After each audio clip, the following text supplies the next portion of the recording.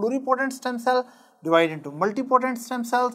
Multipotent stem cells can divide into committed stem cells. Now I have made the committed stem cells which are derived from the common lymphoid stem cell. Now these are pro-natural killer cells and these committed cells will eventually go into peripheral circulation. Of course, these committed cells will be pro-natural killer cells will multiply, then they will differentiate and eventually they will appear into peripheral circulation. And when they will appear into peripheral circulation, now they are called natural killer cells. What are they called?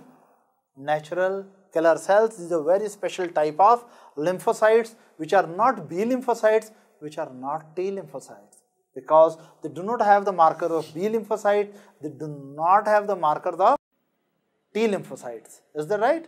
You know B lymphocyte is having CD19 and CD20 proteins. These are not having CD19, these are not having CD20, it means they are not B cells. And like T cells, you know, T cells are having CD3, but these natural killer cells do not have CD3 proteins, so they are not even T cells. So they are not B cells, not T cells. Then we come to pro T cells. Pro T cells also start giving, they differentiate along cells. Eventually, the premature cells, which are derivative of pro T cells, they go into peripheral circulation and they get mature into thymus.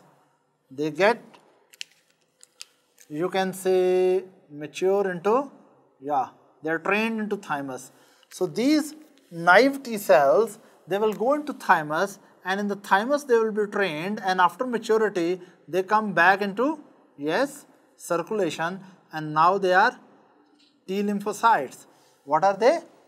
They are T lymphocytes, right? So we can say that from the, you can say thymus, these are the T lymphocytes which come out and these T lymphocytes which come out of thymus, these are called CD3, yes.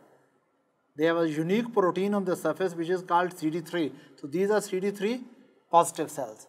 T cells are CD3 positive cells. These T cells are divided into two types of cells.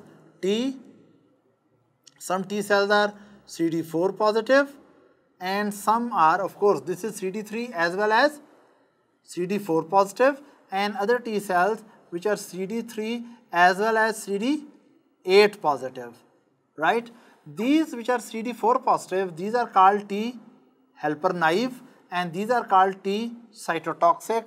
We will discuss into detail in immunology. But again, let me repeat it that from the bone marrow, there is pluripotent stem cell which can divide into common lymphoid stem cell. From the common lymphoid stem cell, we can get the pro-T stem cells. These pro-T uh, cells make the uh, immature T cells, when they will go into thymus, they will be trained there. Actually, once they are trained into thymus, because thymus help the T cell to express the T cell receptors as well as help the T cell to express CD4 proteins or CD8 proteins. Is that right? So, we can say T cells really get mature into thymus or functional after uh, getting training into thymus. Once they come out of thymus, right, these T cells can be, uh, all T cells should have a CD 3 protein. So, one of the hallmark protein which determine that particular cell, particular lymphocyte is T cell or not T cell, it depends on it is having CD3 molecule or not.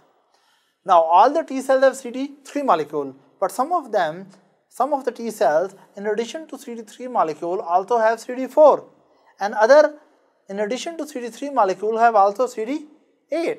Is that right? Now, what really happens that when CD3 and CD8 CD3 and CD8 both are present, these are called CD8 positive T cells. CD8 positive T cells, we will talk in future in immunology that these cells act as, yes, these cells act as cytotoxic cells, CD8 positive cells. But CD4 positive cells, right, these can divide into two types of cells.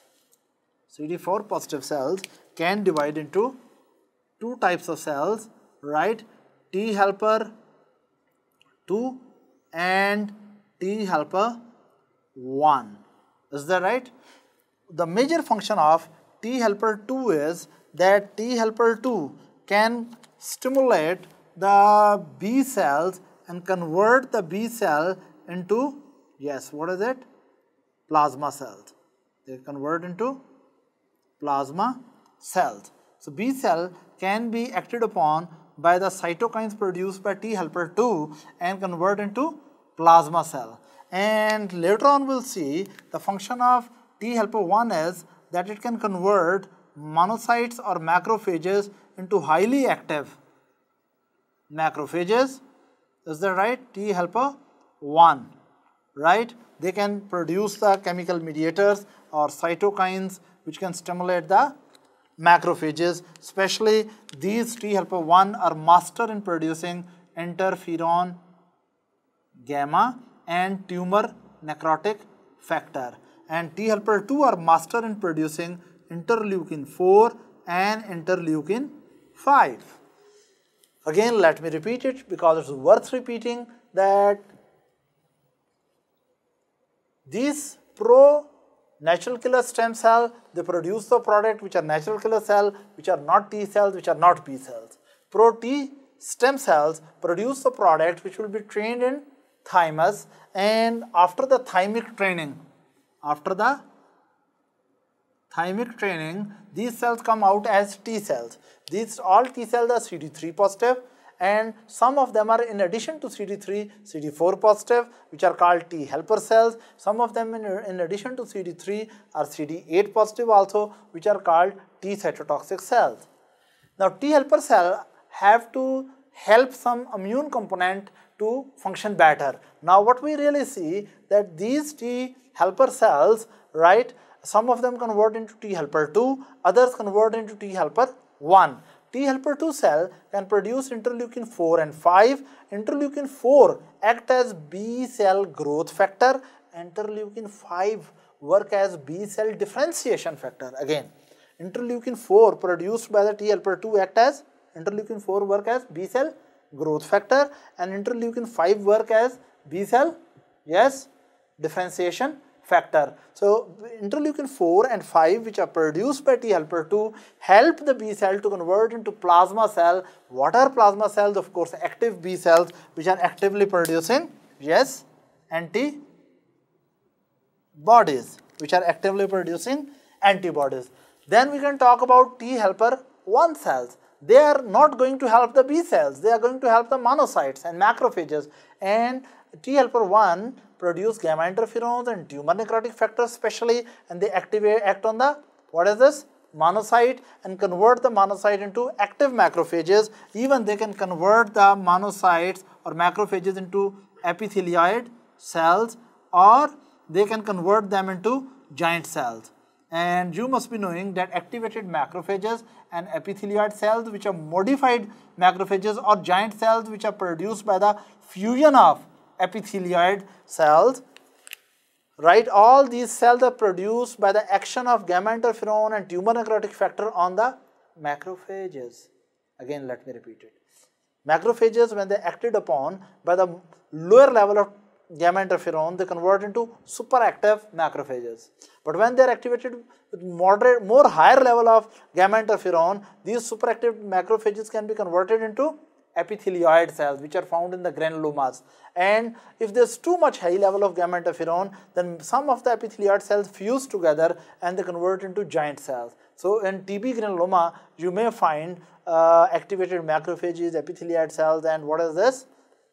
Giant cell and of course with a collar of lymphocytes which are converting monocytes into these cells. So we can say T helper 1 can help the granuloma formation, T helper 2 can help in antibody formation. That is why T helper 2 is helping the humoral immunity and T helper 1 is helping the helping the cellular immunity and T cytotoxic is also the part of cellular immunity.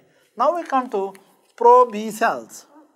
This pro B cells when these are activated, right, they convert into, they mature into bone marrow and they are converted into B cells. But already we have seen that when these B cells are acted upon by the T helper 2, they can convert into what is this? Plasma cells and produce the antibodies. So, this was very briefly about the lymphoid cell production.